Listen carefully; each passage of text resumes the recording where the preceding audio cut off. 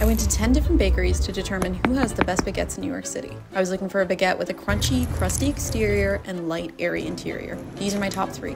Number three is La Bicyclette, with a beautiful loaf for only $2.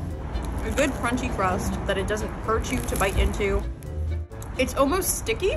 I don't care. Some people might care. I love it. Number two is Bread's Bakery.